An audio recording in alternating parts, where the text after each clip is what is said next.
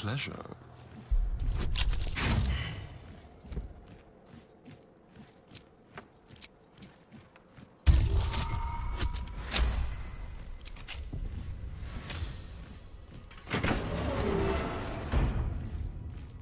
Is that blood?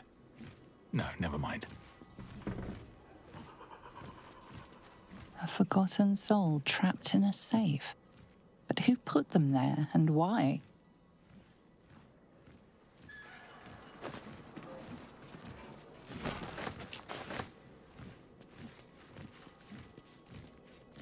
very well.